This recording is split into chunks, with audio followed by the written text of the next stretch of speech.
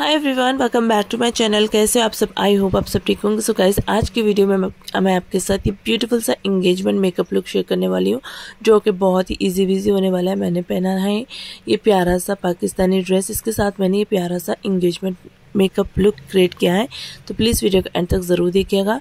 तो स्टार्ट करते हैं आज की वीडियो से लेट्स गेट स्टार्टेड फ़र्स्ट हम स्किन को मॉइस्चराइज करेंगे, इसके लिए मैंने पॉन्ड्स का मॉइस्चराइज़र लिया है। इसकी हेल्प से अच्छे से स्किन को मॉइस्चराइज कर लेंगे। एंड देन यहाँ पर स्विस ब्यूटी का एलिमिनेटर मेकअप बेस लिया है। इससे आपको बहुत ही अच्छा सा ग्लो मिलता है। मेकअप के बाहर ही आपको बहुत ही अच्छा सा ग्लो प्रोवाइड करता है। पोर्स को मिनिमाइज करने के लिए मैंने प्राइमर का यूज़ किया है। तो मेरी स्किन ऑयली है तो इसीलिए मैंने सिलिकॉन बेस्ड प्राइमर का इस्तेमाल किया है।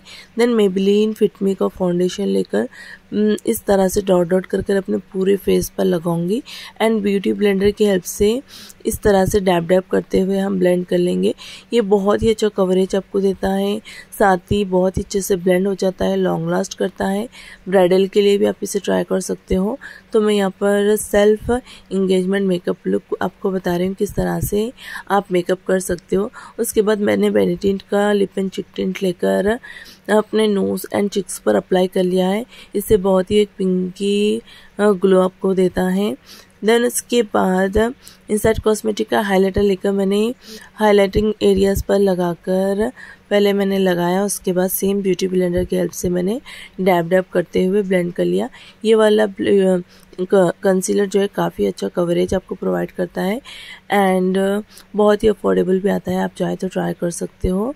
तो टाइम देकर अच्छे से ब्लेंड करने के बाद मैंने पॉन्ड्स का लूज़ पाउडर लिया है। तो मैं बेकिंग करूँगी। जब भी आप कोई भी ब्राइडल मेकअप कर रहे तो बेकिंग ज़रूर करें। पाउडर को लगाकर छोड़ दे पाँच मिनट के लिए, दो मिनट के लिए। तब तक मैंने अपने आईब्रोज़ को फिल कर लिया मार्स के आई पैलेट से ही। एक एंगल ब्रश की हेल्प से मैंने अपने आईब्रोज को अच्छे से फिल कर लिए हैं। दोनों आईब्रोज फिल करने के बाद मैं पाउडर को डस्ट ऑफ़ करूँगी। ये आपके बेस को बहुत अच्छे से सेट कर देता है।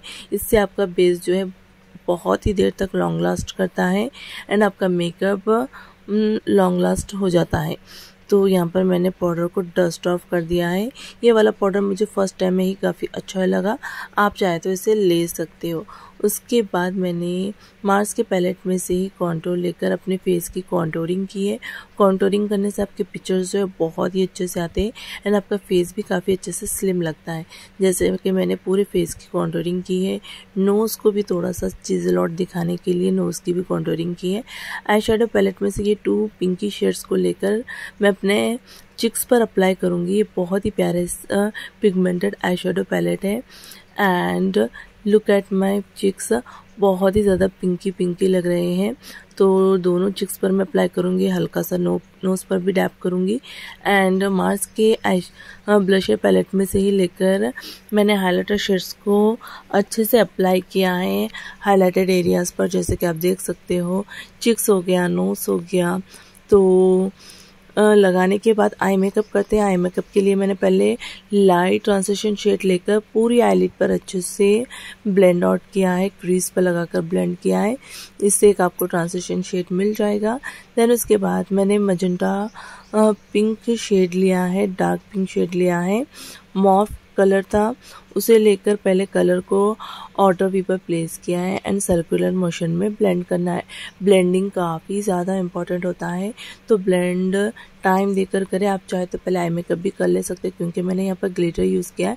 अगर आप बिगिनर्स हो तो आप पहले अपना आई मेकअप कर ले देन उसके बाद आप आपका बेस मेकअप कर सकते हो। उसके साथ ही यहाँ पर आप देख सकते हो हम्म, मैंने सारे कलर्स को अच्छे से ब्लेंड करने के बाद मार्स के पैलेट में से ही एक सिल्वरी शेड को लेकर क्रीज की तरह इस तरह से ड्रॉ किया है।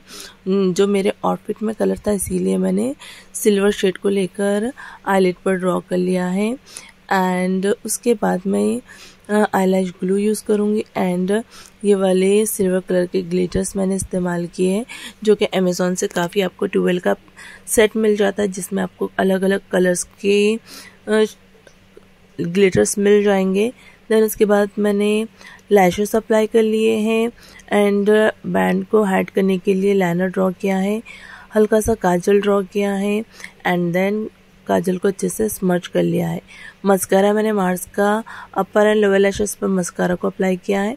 एडीएस के लिप लाइनर की हेल्प से मैंने अच्छे से आउटलाइन किया। सेम लिप लाइनर की हेल्प से मैंने पहले इसे लिप्स पर फिल किया एंड मिस क्लियर का लिप ग्लॉस अप्लाई किया सेटिंग स्प्रे अप्लाई किया and here's my final finish look overall आपको लुक कैसा लग रहा? ये परफेक्टली इंगेजमेंट मेकअप लुक है तो ज़रूर ट्राई कीजिएगा। अगर आपको मेरी वीडियो अच्छी लगे तो प्लीज़ वीडियो को लाइक चैनल को सब्सक्राइब और शेयर ज़रूर करना। मिलती हूँ नेक्स्ट वीडियो में।